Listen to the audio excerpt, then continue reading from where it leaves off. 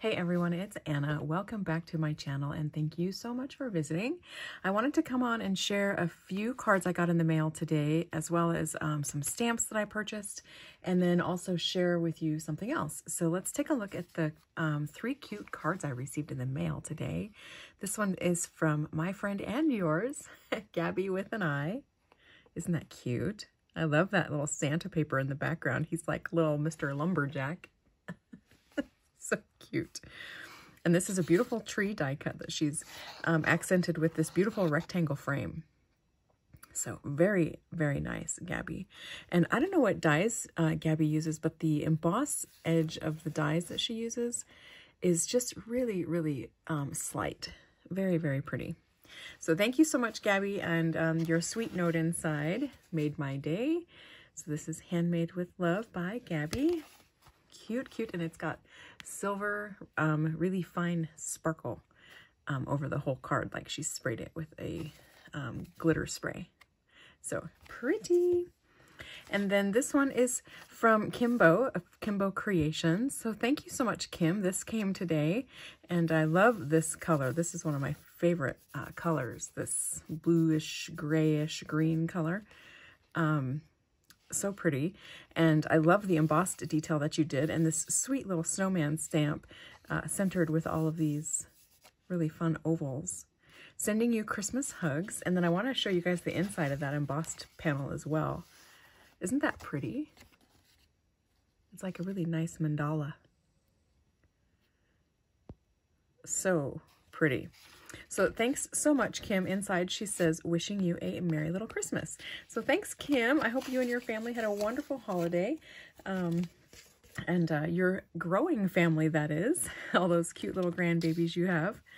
And then this card here is from my friend Carol D. She sent me a thank you card for the gift that I sent her for Christmas.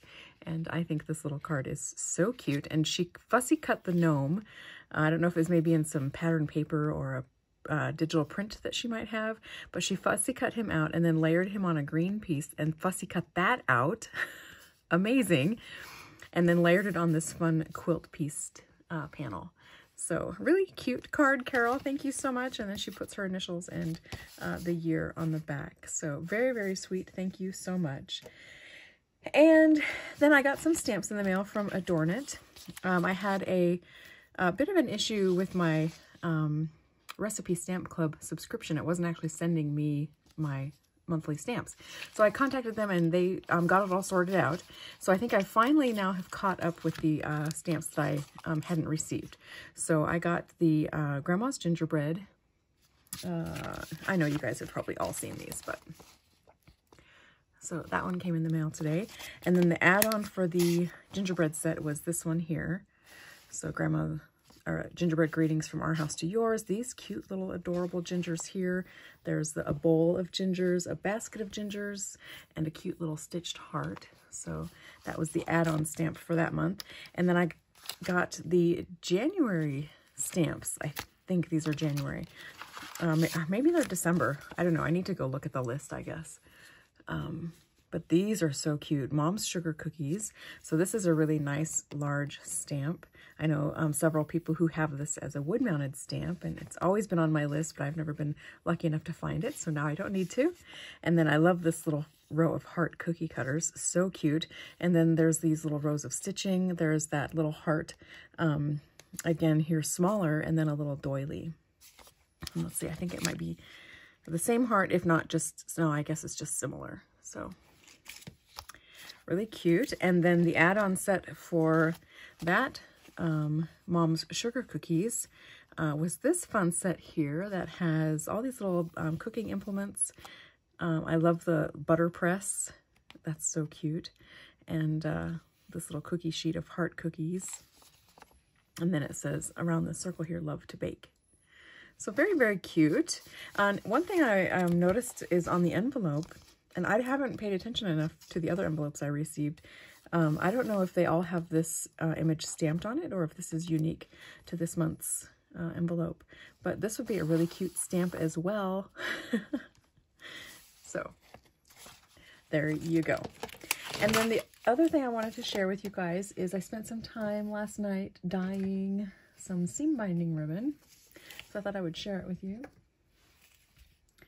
So basically what I did is I just took uh, white or cream colored, I think it's cream colored um, seam binding, and I put down a non-stick mat on my desk here, and then I used some of my Distress ink pads and smushed them onto the um, pad, and then spritzed it with water, and then dropped the ribbon in it and let the ribbon soak up the ink, and kind of squished it around and made sure all the ribbon was kind of damp. Um, and came up with some really fun colors. So there's this one. It's kind of that aqua greenish um, tint. Um, here's one that has some beautiful rust colors in it. Some gorgeous purples. And uh, I used walnut in this one. Um, and walnut actually makes this darker brown here. So this little um, hank of ribbon turned out really, really pretty. Uh, here's a brown one that I did, and this actually started out as brown seam binding, and I just added um, walnut ink um, to it, and water, obviously, but uh, so it kind of just enhanced the brown of the um, already existing color, and added some fun details there. Here's another one that started out brown, and I used um, Vintage Photo to get this beautiful um, dark rust color. I think that color is so pretty. And uh, so this little hank turned out really nice. These are all just little five yard pieces of my seam binding ribbon. So each one of these is five yards.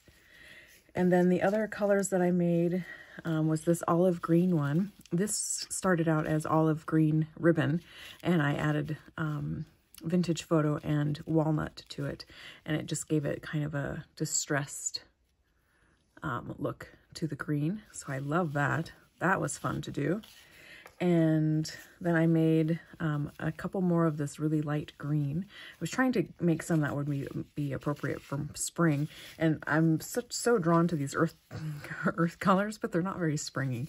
So I really had to try hard to uh, calm, calm my jets, cool my jets, not use so much ink. But uh, I think these turned out really pretty too. They're kind of a um, refreshing green. And then I did some with the, um, I think it's called Honey, uh, Honey Yellow, and tried that. And this was actually using um, the oxide ink. So I thought that was kind of interesting. It, it um, turned out a little bit more saturated um, where that yellow is, is the yellow oxide ink. So I thought this little bundle came out nice. And then I also created this one, which has a little bit of everything in it. It has a little bit of pinks. Um, it has some turquoise, um, some of that uh, denim color. And this one is just a really, really beautiful hank with all these different kinds of colors in it. This one actually reminds me of the inside of like a clamshell. You know how they have that mother of pearl uh, pearlescence to it? That's what this one reminds me of. And then this was the last one I made. And uh, I used more pinks in the raspberry and then just added some vintage photo and a little bit of walnut to it to give it this darker, um, darker look here. So these are super fun to do. Um, if you've never dyed your own ribbon, I really um, encourage you to try it. I can show you guys how to do it if you would like. So just leave a comment down below if this is something you'd like me to show you how to do, um, or if just my description of it was enough for you to get started, if this is something you'd like. So just thought I would share these fun little things. It was kind of a nice relaxing project to take care of last night. I've been meaning to add to my tea dyed uh, ribbon um, stash and thought instead of tea dyeing this time I would do it in these fun colors. So I think they're so beautiful. So Anywho, thanks for watching. I do have another video to film for you tonight. I got a package in the mail today from Miss Marilyn G, so I want to go ahead and film that and get that shared. And if nothing else, so I can see what's in the box. so have a great night, everyone, and I'll talk to you again soon. Bye!